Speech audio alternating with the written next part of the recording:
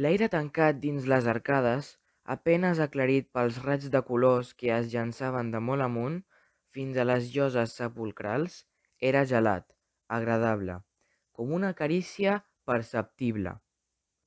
Una olor d'humitat la féu respirar, profundament. Aixecà els ulls enlaire i després anar baixant a poc a poc, molt a poc a poc, per la gran columna que el benestar del descens, resseguint amb delícia la cobra de l'arc, lliscant la mirada per la canal enfosquida, per la pols, pels anys, fins a arribar al sòcol. Tots els passos fregaven les pedres del sòl amb brugit de processó. Davant de l'altar major s'agenollaven.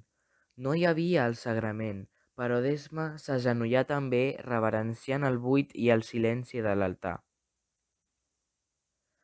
Genolls en terra, sentí la frescor de les pedres i clavar-se en la ròtula el relleu d'un sepulcre. L'altar del sagrament brillava.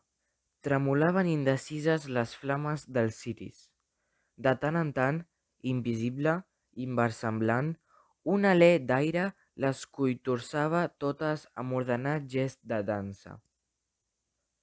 L'orgue sonava i omplia la nau d'un efluvi de solemnitat i tendresa. Les veus de l'orgue, l'olor de l'encens, la lluminositat roja, estriada dels ciris anava rodejant-la, amb ones concèntriques d'emoció quasi fins a arribar al fons d'ella mateixa, quasi posseint-la del tot.